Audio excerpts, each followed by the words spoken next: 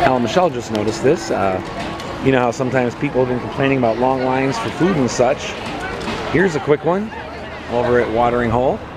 Grab and go, season dining pass. The regular dining times, you can get a ham deli sandwich with chips or an apple, turkey deli sandwich with chips or an apple, or a fresh garden salad with chips or an apple. So it's like an easy, quick pickup for those who don't want like a hot food and you know wait for everything cooking and all that stuff. Pretty cool idea.